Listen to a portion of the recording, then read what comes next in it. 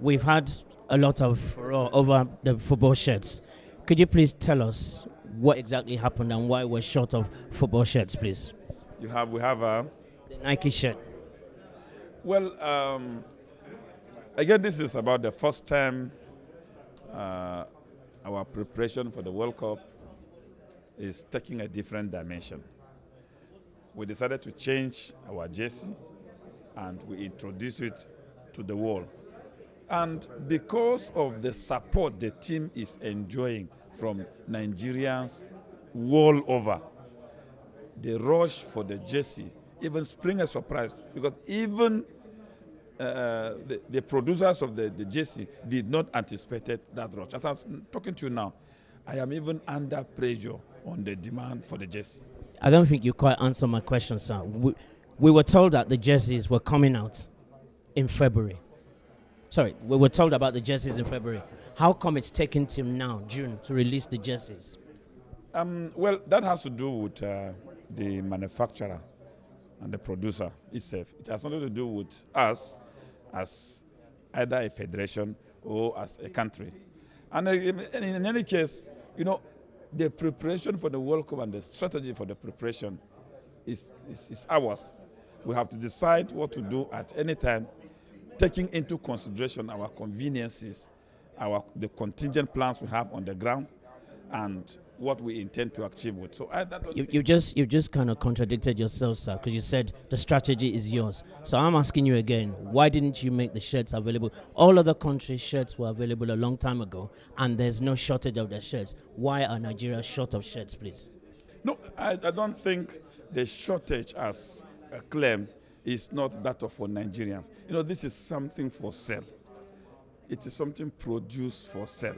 And the producer met his production based on demand. You know, this is the economic of scales. So We were told, right? I got an email saying that three million shirts were ordered. So are you telling me three million shirts have been sold?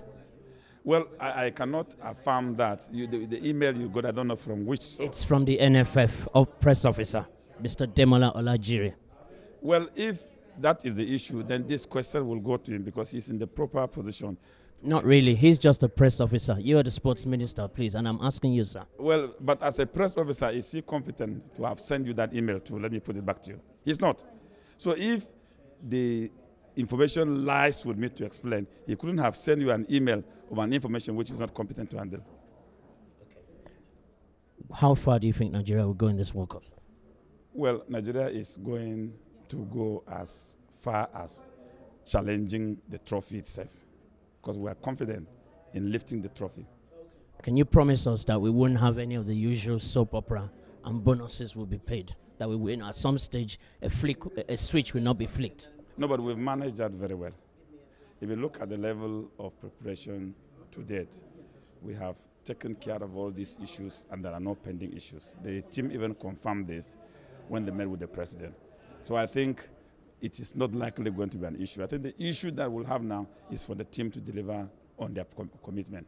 Do you think there will ever be a time when the Nigerian football will not have to rely on the sports ministry, with all due respect? Other countries don't rely on the government, they just operate as a unit and the private sector. Will we ever have a time where Yeah. you won't be relying on the federal government and the sports ministry? You know, it has to do with the level of the development. We are gradually getting to it. Before in Nigeria, government uh, take responsibility of funding sports, absolutely.